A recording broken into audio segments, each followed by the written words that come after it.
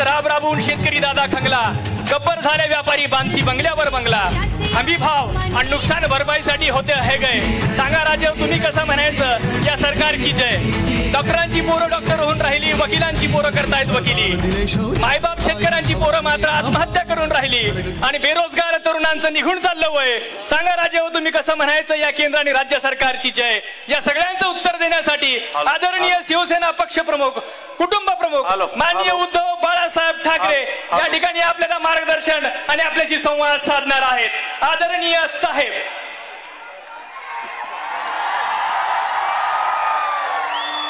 अखंड हिंदुस्थानचे कैवारी प्रबोधनकार सुपुत्र देव देश धर्म मराठी मनाचे मानबिंदू हिंदू अस्मितेचे शिरोमणी हिंदुस्थान हिंदू अखंड हिंदुस्थानचे एकमेव सम्राट महानेता माननीय शिवसेना प्रमुख श्रीमान बाळासाहेब ठाकरे यांचा.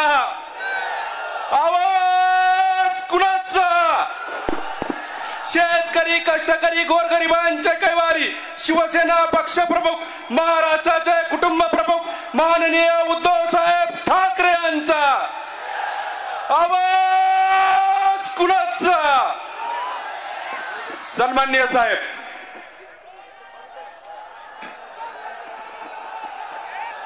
जमलेल्या माझ्या तमाम हिंदू बांधवांनो भगिनीनो आणि मातानो. बऱ्याच महिन्यांनंतर वर्षांनंतर मी आपल्या दर्शनाला आलेलो आहे. दसऱ्याचा मेळावा आपला परंपरेप्रमाणे शिवतीर्थवती केला झाला प्रचंड झाला.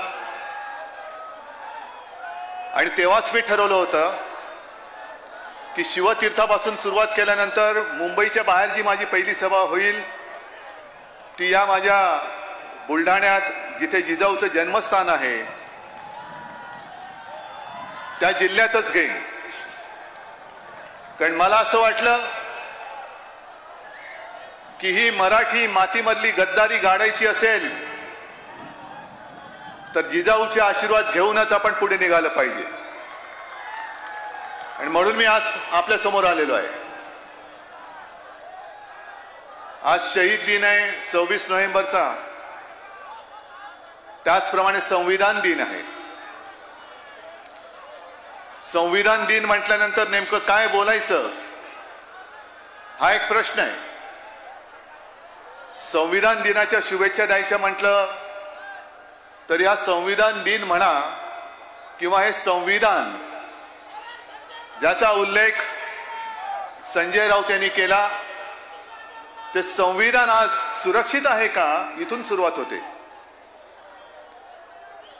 एक चार पाच दिवसापूर्वी मी आणि प्रकाश आंबेडकर एका व्यासपीठावरती आलो होतो. आणि तेव्हा त्यांनी जो प्रश्न विचारला तोच प्रश्न माझ्याच नव्हे तर तुमच्याही मनामध्ये असायलाच पाहिजे. कारण पुढची वाटचाल ही आपल्याला त्या दिशेने करावी लागणार आहे लोकशाही वाचवण्याच्या दिशेने. आज हुकुमशाही आपल्याला हुकुमशाही पाहिजे का लोकशाही? हा महत्त्वाचा प्रश्न आहे. ठीक आहे. काही जण चाळीस रेडे घेऊन गुवाहाटीला गेलेत. हे रेडे मी नाही म्हटलेलं. त्यांच्याच एका मंत्रिमंडळातल्या मंत्र्यांनी म्हटलेलं की आमचे चाळीस रेडे तिकडे गेलेले आहेत.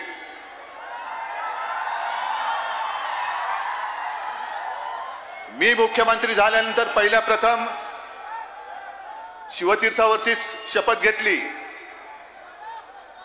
आमची कुलस्वामीने एकविरीच्या दर्शनाला गेलो आणि त्याच्यानंतर अयोध्येला गेलो होतो. हे आज तिकडे गेलेत नवस फेडायला. गेल्या आठवड्यात गेले होते स्वतःचा हात दाखवायला. म्हणजे ज्याला स्वतःचं भविष्य माहिती नाही तो आपलं भविष्य ठरवणार. अहो तुमच्या हात की सफाई आम्ही पाहिले संपूर्ण महाराष्ट्राने पाहिलेली आहे. आणि तुमचं भविष्य जे आहे ते कुडमुडे ज्योतिषाला विचारून उपयोग नाही. तुमचे ज्योतिषी किंवा तुमचं भवितव्य ठरवणारे दिल्लीत बसले तुमचे मायबाप. त्यांनी उठ म्हटलं का उठायचं बस म्हटलं की बसायचं. आणि हिंदुत्व वाचवायला म्हणून शिवसेना सोडून निघाले. मी बुलढाण्यामध्ये आल्यानंतर साहजिकच आहे मला. काही जुने चेहरे आज दिसत नाहीयेत. पण जुने होते ते फसवे होते. गद्दार निघाले. त्यांना असं वाटलं की बुलढाणा म्हणजे माझी मालमत्ता त्यांची मालमत्ता आहे. हे जे मर्द मावळे इकडे जमलेले आहेत. आणि खरंच आहे की तुमच्या उत्साहाकडे बघितल्यानंतर असंच वाटतं या धगधगत्या पेट्या मशाली आहेत. अन्याय झाडाला निघालेल्या माझ्या पेट्या मशाली आहेत. आपलं सरकार चाललं होतं व्यवस्थित. पण हे सरकार पाडलं गेलं. बऱ्यांची पाडायची पद्धत कशी आहे? मला मगाशी नितीन देशमुख येऊन भेटले. नितीन देशमुख एक चांगला रांगडा तगडा आणि हिंमतवाला माणूस आहे.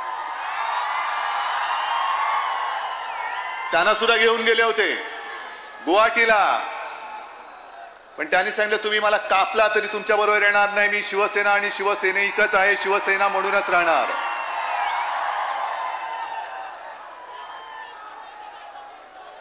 नितीन देशमुख परत आले.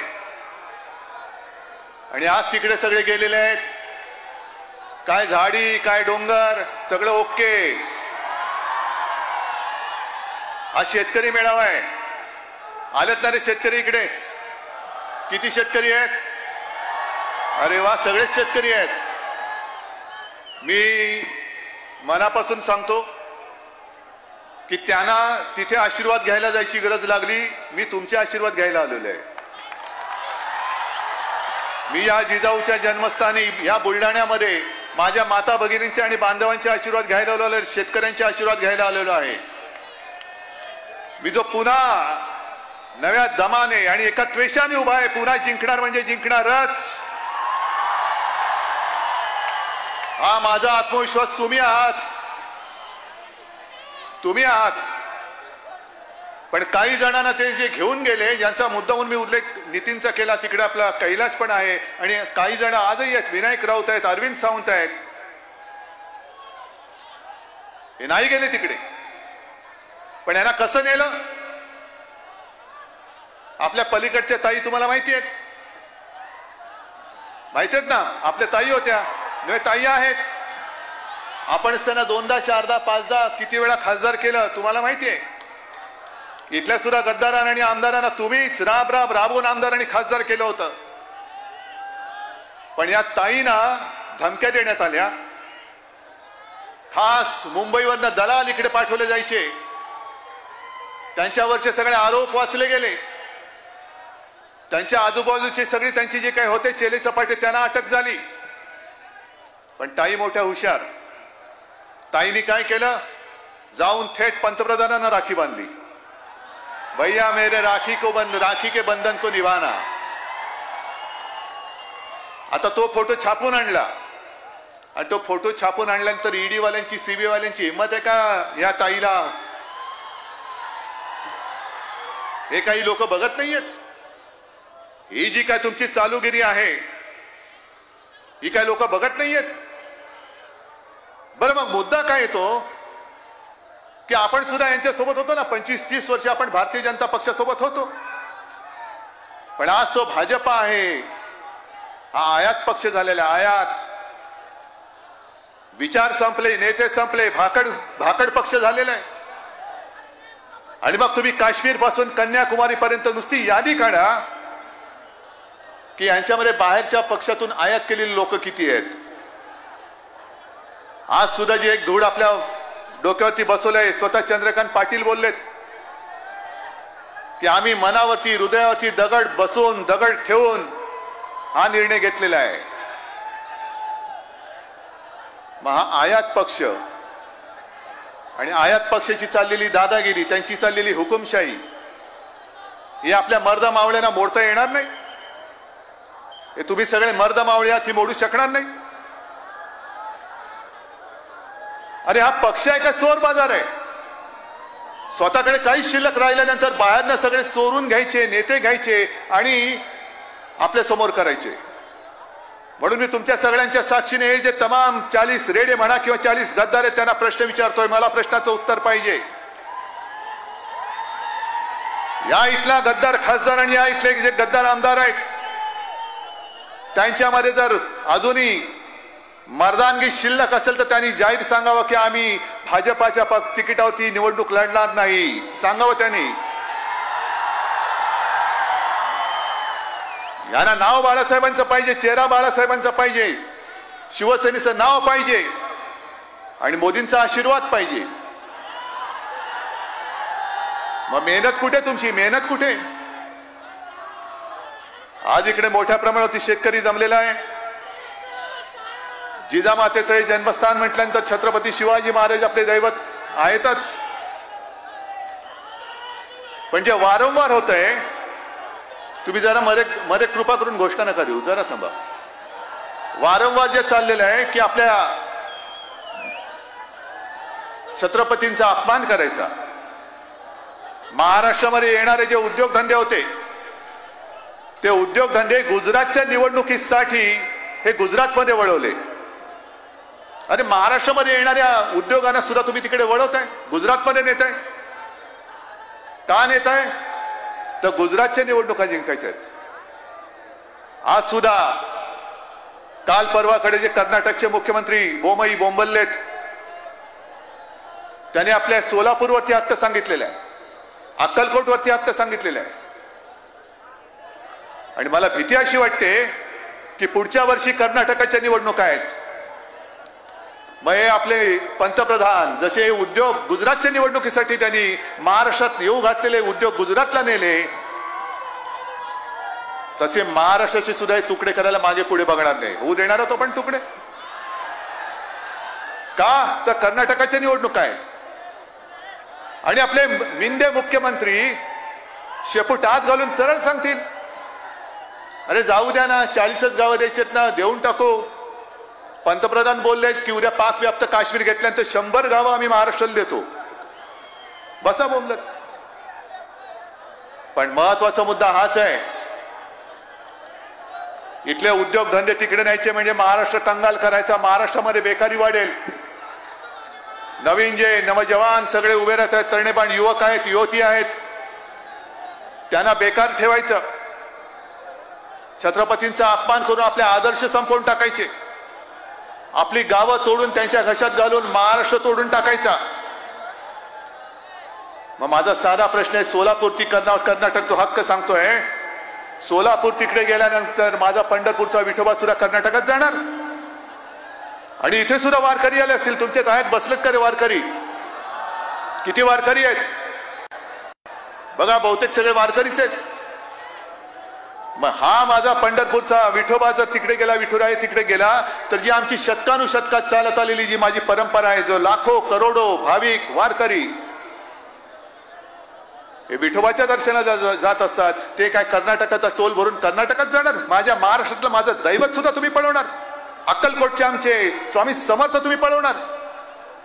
आणि आम्ही काय शंडासारखं बघत बसणार? हे मी मुद्दामून तुम्हाला का सांगतोय? की ज्या पद्धतीने छत्रपतींचा अपमान केला गेला सावरकरांचा अपमान केल्यानंतर आम्ही सुद्धा बोललो. आम्ही नाही सहन करणार पण ज्या एका त्वेषाने आम्ही बोललो हे सगळं एक तर मिंदे सरकार राज्यपालांचा खरा निषेध नव्हे राज्यपालांची बॅग पॅक करून त्यांना पाठवून देण्याची हिंमत त्यांनी दाखवायला पाहिजे होती. मी मुख्यमंत्री होतो त्यावेळेला राज्यपालांचा आगाऊपणा मी सहन करत नव्हतो. राज्यपाल म्हणून पूर्ण आदर मी तुमच्याबद्दल बाळगतो. पण तुमच्या काळ्या टोपीखाली जे काही दडलेलं आहे त्याचा मान मी राखू शकत नाही अजिबात नाही. जर तुम्ही आमच्या महाराजांचा अपमान करणार असेल तर तुमचं वय किती असेल? तर तुम्ही तुमच्या घरामध्ये बसा.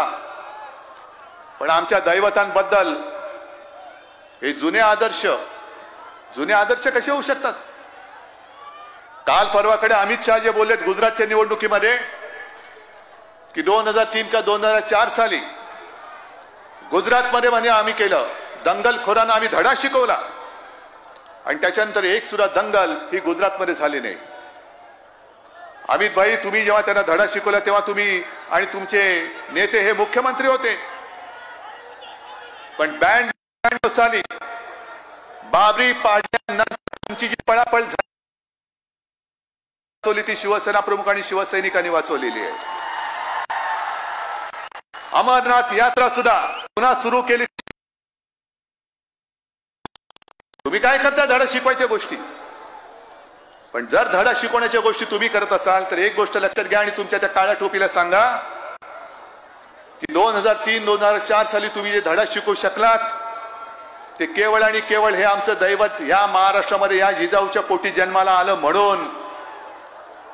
नाहीतर तुमचे धडे दिसलेच नसते आणि तुमचं नाव सुद्धा भलतंच काहीतरी झालं असतं. आणि असं हे आमचं दैवत त्यांचा पुराणे आदर्श म्हणून तुम्ही उल्लेख करताय आणि आम्ही शेपट्या घालून बसायचं.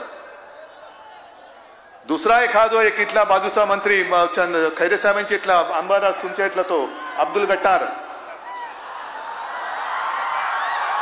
नाही मी मुद्दामून बोलतोय. हे नुसतं आता सोडून देण्याची वेळ नाहीये. त्यांनी सुप्रिया सुळेचा अपमान केला. ठीक आहे राजकारण म्हणून तुम्ही टीका करा पण शिवी देता मी मुख्यमंत्री असतो तर कोणी जरी महिलेचा अपमान केला असतं तर लात मारून घालून दिला असता जसं मी एकाला घालून दिला होता. एका बाजूला महिलेचा अपमान होतोय महिलेबद्दल अपशब्द वापरलेत तरी गुळमुळ गुळमुळ अरे तुम्ही काय वाघ आहात का गांडुळात महाराष्ट्राचे उद्योग बाहेर जात आहेत तरी तुम्ही शेपट्या घालून बसलायत. महाराष्ट्र तोडण्याची भाषा होते तरी तुम्ही शेपट्या घालून बसलायत. महाराष्ट्रामध्ये महिलेचा अपमान होतोय तरी सुद्धा तुम्ही शेपट्या घालून बसताय. हे बाळासाहेबांचं हिंदुत्व नाही हे बाळासाहेबांचे विचार हे असले फालतू आणि सडके विचार बाळासाहेबांचे नव्हते. तुमच्यामध्ये जर का हिंमत असेल आज सुद्धा शिल्लक असेल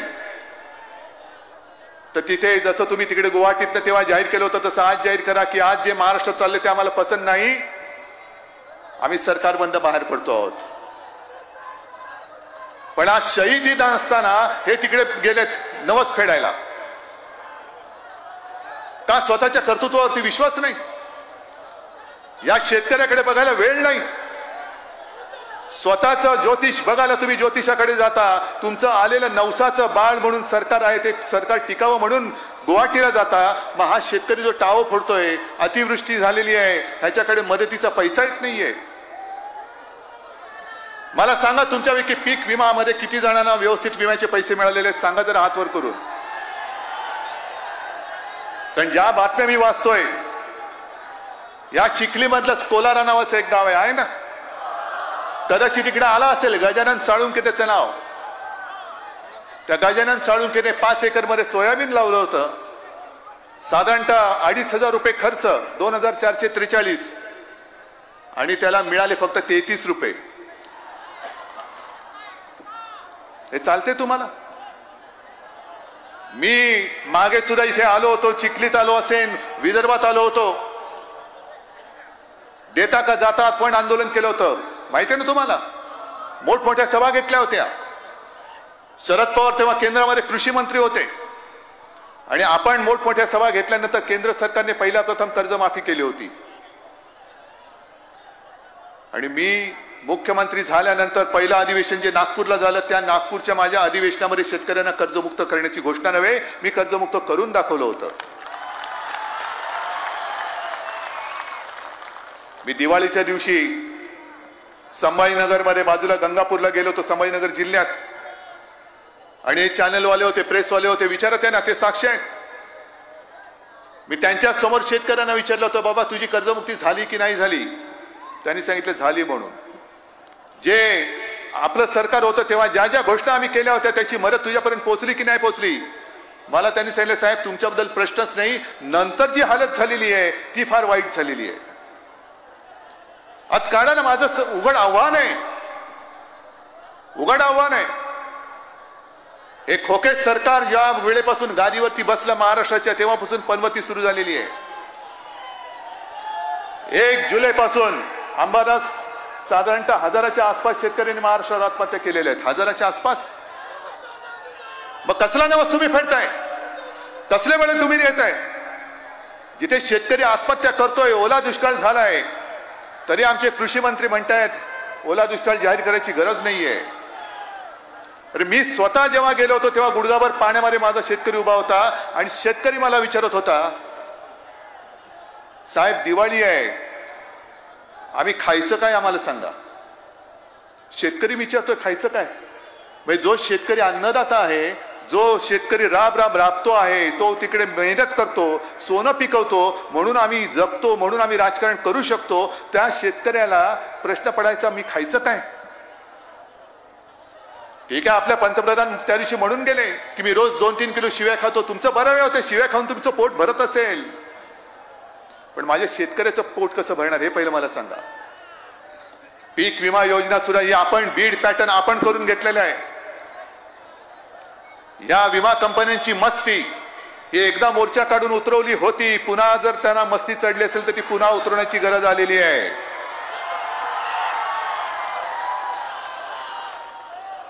आज डीपी जळत आहेत किती लोक येतात तुमच्याकडे मदतीला? डीपी जळल्यानंतर पटकन तुम्हाला रिपेअर करून मिळतोय? वीज बिलाची वसुली थांबलेली आहे का चालू आहे? वीज बिलाची वसुली चालू आहे का थांबलेली आहे? बरं थांबा. मला एक इकडे व्हिडिओ तुम्हाला मिळाला तो पटकन ऐकून दाखवतो. एक मिनिट थांबा जरा. सरकारचं मध्य प्रदेश सरकारने सहा हजार पाचशे कोटी रुपये स्वतः देऊन शेतकऱ्यांची विजेची बिलं त्या ठिकाणी माफ केली आहेत. महाराष्ट्रामध्ये मात्र या ठिकाणी रोज सावकारी पद्धतीनं विजेची बिलं वसूल केली जात आहेत. महाराष्ट्र सरकारने देखील मध्य प्रदेश प्रमाणे आवाज आला तुम्हाला? कोणाचा ओळखा पाहू कोण? आला ना ऐकायला? काय बोलत होते? मी तेव्हा मुख्यमंत्री होतो. देवेंद्र जनाची नाही तर मनाची लाज बाळगा. या ठिकाणी आम्हाला आनंद होतो आहे की त्या ठिकाणी मध्य प्रदेशने साडेसहा हजार कोटी रुपये शेतकऱ्यांचे वीज भरलेली आहे. आणि म्हणून आम्ही या ठिकाणी फटाके फोडतो की त्या ठिकाणी आवाज जाईल. मग या ठिकाणी मग मी त्यांना खुलं आव्हान देतोय तुमच्या सगळ्यांच्या साक्षीने. या ठिकाणी त्या ठिकाणी करते ना?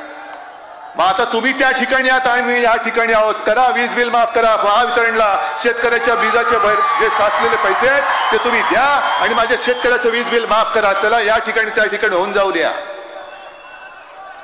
पण वरती बसलं का वेगळी भाषा? खालती उतरलात का वेगळी भाषा? जी कर्जमुक्ती आम्ही केली होती तिचा लाभ यांना मिळाला की नाही विचारा. आणि जी कर्जमाफी तुम्ही केली होती त्याच्यात अटी किती होत्या आणि कर्जमाफ किती लोकांचं झालं हे सुद्धा विचारा. माझं जाहीर आव्हान आहे. हा थोडस एक या पश्चिम विदर्भाचा भाग थोडा राहिला होता मला माहितीये कारण जेव्हा आपण कर्जमुक्ती कर्जमाफी जाहीर केली तेव्हा ती योजना त्या वर्षी एकतीस मे पर्यंत पूर्ण करायची होती. दुर्दैवाने करोनाचं संकट आलं. आणि या पश्चिम विदर्भातल्या काही जिल्ह्यांची कर्जमुक्ती राहिली होती. पण आपण स्वतः सरकारने बँकेकडे गॅरंटी दिली आणि त्यांचं सुद्धा कर्ज माफ करायला लावलं होतं. शेवटच्या शेवटच्या दिवसांमध्ये जे नियमित कर्ज परतफेड करणारे आहेत शेतकरी त्यांना पन्नास हजार रुपये प्रोत्साहनपर राशी त्याची सुद्धा घोषणा आणि पूर्तता सुरू करत होतो आणि या रेड्याने शेण खाल्लं. कोणाचं नुकसान झालं? कोणाचं नुकसान झालं? आज सुद्धा या शेतकऱ्यांची जी हालत चाललेली आहे पीक विम्याचे पैसे मिळत नाही आहेत अतिवृष्टीचे पैसे घोषित झाले. मिळाले किती लोकांना मिळाले? हात वर करून सांगा. हे चॅनलवाल्यांनी माझ्या भाषणापेक्षा या शेतकऱ्यांचा आणि त्यांचा प्र- प्रतिसाद दाखवा. की राज्य कसं चाललेलं आहे खोटं बोलून राज्य चाललेलं आहे. रेटून नेतात आणि राज्य चालवत आहेत. हे दाखवा त्यांना. काय वाटेल ते सांगायचं. आणि रेटून न्यायचं. ही जनता काही भोळी बाबडी राहिलेली नाही आज शेतकरी आत्महत्या करतायत शेतकऱ्यांची घराच्या घरं उघडी पडतायत. महिला विधवा होत आहेत मुलं बाळ रस्त्यावरती येत आहेत. म्हणून मी एक शेतकऱ्यांना सांगायला आलेलो आहे मुख्यमंत्री असतो तो तुमच्यावरती आत्महत्येची वेळ मी येऊ दिलीच नसती. पण आज सुद्धा यांनी शिवसेना फोडली असं त्यांना वाटतंय पण शिवसेना म्हणजे मेलेला गाडव नाहीये जिवंत रसरस्ती माणसं आहेत. शिवसेना तुम्ही किती फोडा? फोडून फोडून ठो दमाल तुम्ही. शेवटी तुम्हाला डोकं आपटावं लागेल. पण माझी शिवसेना तुम्हाला फोडून टा- तोडून टाकून दिल्याशिवाय राहणार नाहीये. निवडणुका लांबवत आहेत. काय झालं रे? जाऊ दे राहू दे राहू दे राहू दे रे.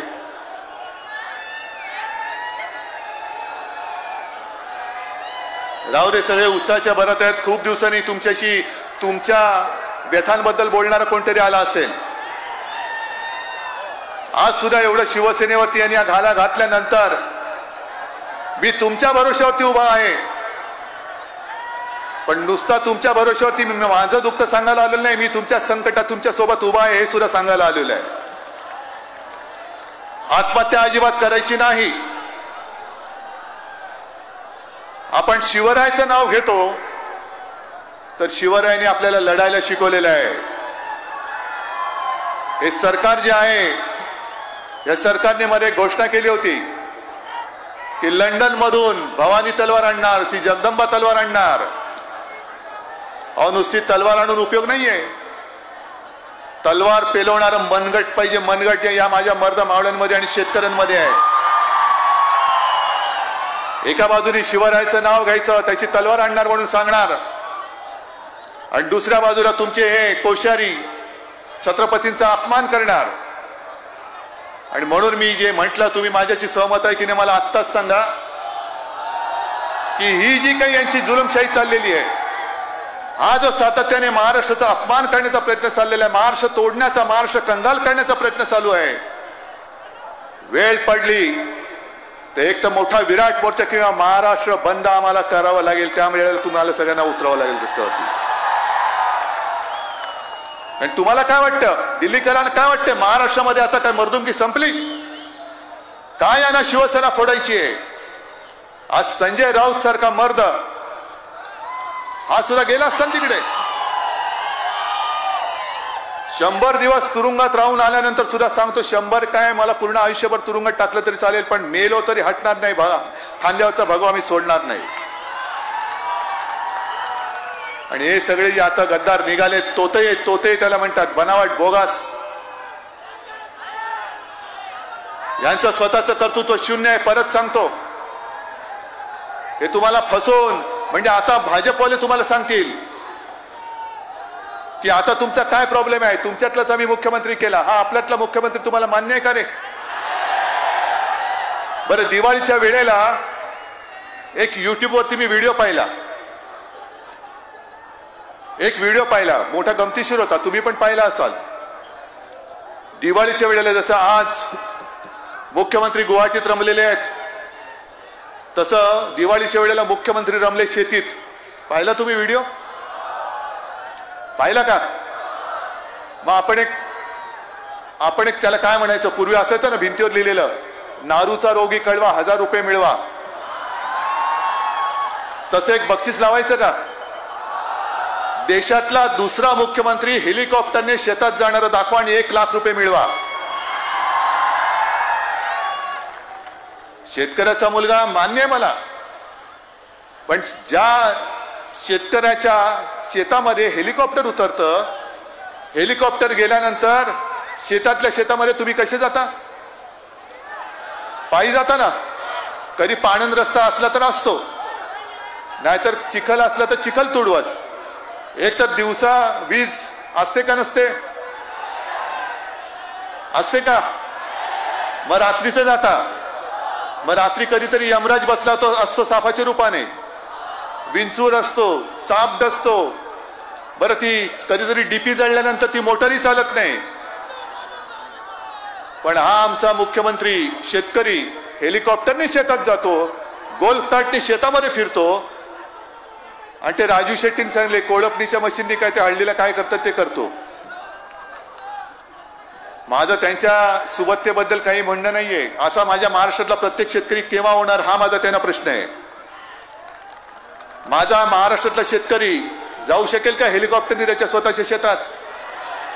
माझा महाराष्ट्रातला शेतकरी कधीतरी त्याच्या शेतामध्ये ती तुमची गोलची काढ घेऊन फिरू शकेल का? मग तुम्ही तुमचं ज्योतिष दाखवायला भविष्य त्या ज्योतिषाकडे जाता. माझ्या शेतकऱ्याच्या हातावरती हात दाखवायचा कोणाला? कारण राबून राबून त्याच्या हातावरच्या सगळ्या रेषा पुसल्या गेलेल्या आहेत. तो पूर्ण गठ्ठे पडलेला हात घेऊन ज्योतिषी तरी काय सांगणार? म्हणेल कपाळावरती मारून घे जगल्यास थोडा बरा आहेस. पण ही माझ्या शेतकऱ्यांची थट्टा चालली आणि वरती तुमची सुबत्ता दाखवत आहे का? तर मी शेतकरी आहे. मग जसं तुम्ही पत्रकारांना घेऊन ह्यांच्यापैकी असतील पत्रकारांना घेऊन तुमच्या शेतात गेलात तसंच माझा अतिवृष्टीग्रस्त शेतकरी टाहो फोडत असताना आक्रोश करत असताना त्याच्या शेतात का घेऊन गेला नाहीत प्रेसवाल्यांना? कुठे तुम्ही कृषी मंत्री पाहिलंय? कृषी मंत्री आलाय का तुमच्याकडे? अरे मला सांगत होते की हा मुख्यमंत्री घराबाहेरच पडत नाही. त्यावेळेला करोना होता. त्याच्यानंतर जेव्हा गेल्या दिवाळीत म्हणजे गेल्या नाही त्याच्या गेल्या वर्षी बाहेर पडायचं म्हटलं तर माझ्या मानेचं शस्त्रक्रिया उपटली. काही दिवस तर मी हालू शकत नव्हतो. पण घरामध्ये बसून सुद्धा जो मी कारभार केला तुम्ही सगळ्यांनी जी काय मदत केली त्याच्यामुळे संपूर्ण देशात जो काही सर्वे होत होता त्या पहिल्या पाचामध्ये तुमच्या हक्काचा महाराष्ट्राचा मुख्यमंत्री येत होता. हे तुमचं काम आहे ही तुमची तुमचं श्रेय. आहे आज हे घराबाहेर पडलेत पण घर सोडून फिरतायत. घरामध्ये फिरा ना. या विदर्भामध्ये या मराठवाड्यात जा पश्चिम महाराष्ट्रात जा उत्तर महाराष्ट्रात जा. एकदम जे काय घराबाहेर पडला ते गुवाहाटीला. सुरुवात सुरतीपासून. त्याच्यानंतर गुवाहाटीला जाते या शेतकऱ्याची हालत ही सांभाळायची कोणी? शेतकऱ्याची जी इज्जत आहे शेतकऱ्याला तुमच्याकडे तुम्हाला खोके मिळाले. मला आठवतंय काही वर्षांपूर्वी मी आलो होतो तेव्हा बैल पोळा होता. मला वाटतं यवतमाळला वगैरे कुठेतरी असेल. यवतमाळ. माझ्या हस्ते त्या बैलांना पुरणपोळी वगैरे दिली होती. पण यावेळेचा बैल कोळा मला कसा कळला? माहिती होतं. पण सकाळपासून मेसेज यायला लागले. बैलांना सजवलेलं होतं आणि त्या बैलांवरती लिहिलं होतं पन्नास खोके एकदम ओके. बर तुमचे विदर्भातलेच एक माजी मंत्री आपल्या मंत्रिमंडळात मंत्री केलं होतं त्यांना. नाही पचलं नाही. समोरून वाढून ताण दिलं होतं पचलं नाही. आता फिरतायत. सगळे कडू बोल चाललेत त्यांचे. त्यांनी सांगितलं की आम्ही काय करावं? लग्नात गेलो तरी खोकेवाले आले म्हणतात. आता तुम्ही पन्नास पन्नास खोके घेतले असाल त्यातले काही खोके या माझ्या शेतकऱ्याला दिले तर त्याचा जीव वाचू शकतो त्याचा शेती वाचू शकते. पण हे ठीक आहे.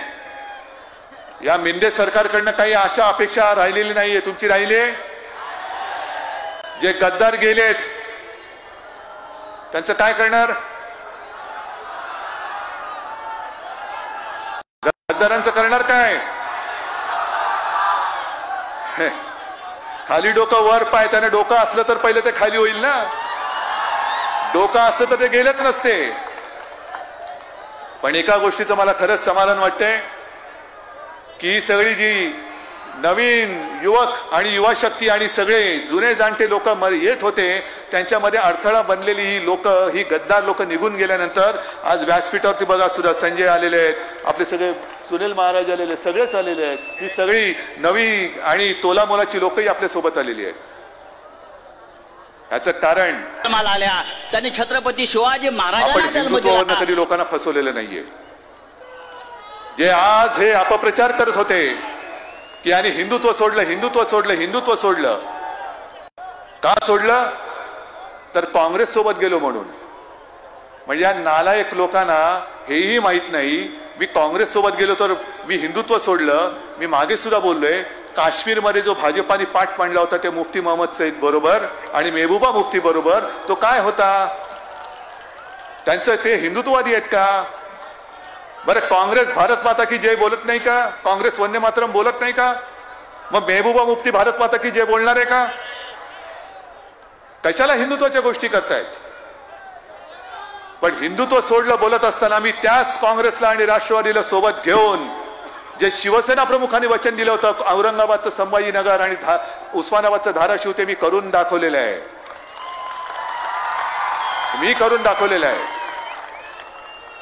आणि खरंच त्यावेळेला मी पुन्हा सांगतो दसरा मेळाव्यात पण बोललो होतो की ज्या क्षणी तो ठराव मंत्रिमंडळात आला तेव्हा काँग्रेस आणि राष्ट्रवादी या दोघांनी पुढच्या क्षणाला तत्काळ हो म्हणून त्या नामांतराला परवानगी दिली होती.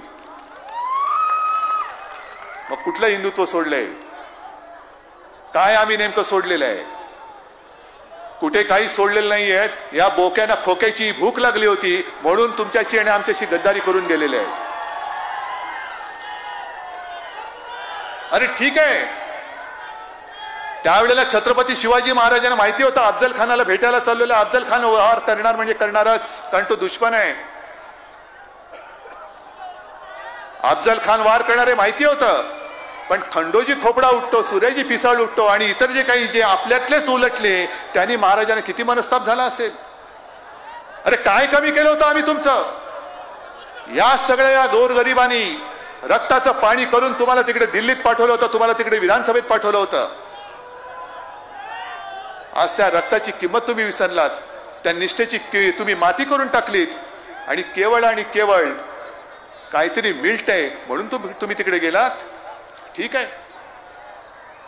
आज कदाचित काही मंत्री झाले असतील.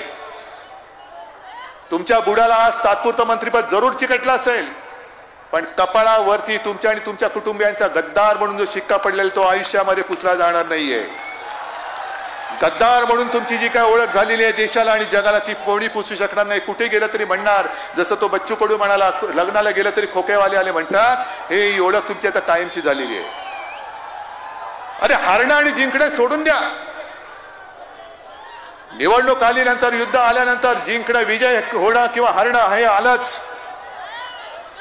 पण जेव्हा माझी जीवाभावाची नाती विसरून तुम्ही केवळ स्वतःसाठी तिकडे गद्दार म्हणून जाता या गद्दारांना आता माफी करायची नाही त्या लायकीचे ते राहिलेले नाही आहेत आणि मी मुद्दाम शेतकऱ्यांना तुम्हाला सांगायला आलेलो आहे. तुम्ही नाव उमेद होऊन चालणार नाही. तुम्हाला तुमच्या मनगटातली ताकद किती असते ह्याची कल्पना नाहीये. जी ताकद गेल्या वर्षी पंजाबच्या शेतकऱ्यांनी दाखवली होती. केंद्र सरकारला सुद्धा त्यांच्यासमोर झुकावं लागलं होतं. कडाक्याची थंडी होती ऊन होतं पाऊस होता सगळं होतं. काही शेकडो शेतकरी तिकडे मृत्युमुखी पडले. त्यांना अतिरेकी ठरवलं गेलं. तरी देखील आपला शेतकरी नमला नाही पण सरकारला मस्तवाल सरकारला त्यांनी झुकवलं. ही ताकदी तुमची आहे. आणि तुमच्या नांगराची ताकद त्याची ओळख तुम्हाला नाहीये. हा जो नांगर आहे तो फक्त जमीन नाही नांगरत. तर याच नांगरधारी शेतकऱ्यांनी त्यावेळेला सुद्धा एका हुकुमशाहीला उलथवून टाकलं होतं. ती सुद्धा आठवण तुम्ही ठेवा. नांगरधारी शेतकरीच होता. निशाणी काय होती? नांगरधारी शेतकरी. आज जो अन्याय आपल्यावरती चाललेला आपलं नाव गोठवलं चिन्ह गोठवलं. चिन्ह गोठवलं. पण मशाली पेटवलेले आहेत. रक्त पेटवलेलं आहे. आणि शिवसेना म्हटल्यानंतर सळसळत आणि ताप्त रक्त. हीच आमची ओळख आहे. निष्ठा हीच आमची ओळख आहे. आणि म्हणून मी तुम्हाला आज सांगायला आलेलो आहे इकडे शिवसैनिक तमाम सगळे शिवसैनिक आहेत. आता शांत राहायचं नाही. आधी पीक विमा कंपन्यांच्या ऑफिसमध्ये जाऊन त्यांना नम्र विनंती करा. की दादानो तुमच्या लेखी हे आमचे सगळे शेतकरी बांधव आहेत माता भगिनी आहेत यांचं एवढं देणं तुम्ही लागता देता की नाही बऱ्या बोला ते सांगा. देवेंद्र फडणवीसांना सुद्धा सांगतोय. मग असा तुमचा व्हिडिओ त्याचा ऑडिओ मी सगळ्यांना ऐकवलेला आहे पाहिजे तुम्हाला मी पाठवून देतो. पण या ठिकाणी त्या ठिकाणी करण्यापेक्षा तमाम माझ्या महाराष्ट्रातल्या शेतकऱ्यांचं जे वीज बिल आहे त्याची रक्कम तुम्ही महावितरणकडे भरा आणि या तमाम शेतकऱ्यांना वीज बिल मुक्त करा. करा. आम्ही केलं कर्जमुक्त केलं आम्ही. पण तुम्ही वीज बिल मुक्त करा. आणि तुम्ही पुन्हा एकदा सांगतो एक शपथ मला तुमच्याकडनं पाहिजे घेणार शिवसेना तुमच्यासमोर रस्त्यावरती उतरेल तुमच्यासाठी रस्त्यावरती उतरेल. पण मला एक शपथ घेऊन सांगायचं किती संकट मोठं असलं तरी आत्महत्या करणार नाही सगळ्यांनी हात वर करून सांगा. हे बघा आजूबाजूला बघा तुमच्या तुमची ताकद किती आहे. वर केलेले हात बघा ही तुमची ताकद आहे. ही ताकद ही एकटी दुकटी पडली तर ते चिरडून टाकतील. पण ही सगळी ताकद जर हातात हात घेऊन एकवटून उभी राहिली तर त्यांना पलटा भुई थोडी केल्याशिवाय पण राहणार नाही. म्हणून तुम्ही आता शेतकरी आहात. सगळ्यांनी शेतकरी म्हणून एक या. आणि मी सगळ्या शिवसेना नेत्यांना सांगतोय सर्व शिवसेना पदाधिकाऱ्यांना सांगतोय उद्यापासून या शेतकऱ्यांच्या न्याय हक्कासाठी रस्त्यावरती उतरा. जे जे लोकांना छळत असतील त्यांना व्यवस्थित जाब विचारा. पीक विमा मिळत कसा नाही मिळालाच पाहिजे. एवढे पैसे भरल्यानंतर दहा रुपये पाच रुपये भीक न पाहिजे आम्हाला आमचा हक्क पाहिजे. आणि शेतकऱ्याला सुद्धा नुसता हमी भाव नाही तर पिकाला हमखास भाव मिळाला पाहिजे. हे आपलं धोरण होतं हमखास भाव मिळाला पाहिजे. आणि म्हणून आजपासून ही सुरुवात झालेली आहे. मी तुमच्या सगळ्यांच्या रूपामध्ये जिजामातेचे आशीर्वाद घेतोय. लढायचं ना पुढे जायचं की नाही जायचं? गद्दारांना गाळायचं की नाही गाडायचं शेतकऱ्यांना न्याय हक्क मिळवून द्यायचे की नाही? महाराष्ट्राची अस्मिता महाराष्ट्राचा स्वाभिमान महाराष्ट्राचा आदर्श जिवंत जागता ठेवायचं की नाही? बस तुम्हाला सगळ्यांना खूप खूप शुभेच्छा देतो. जय हिंद जय महाराष्ट्र.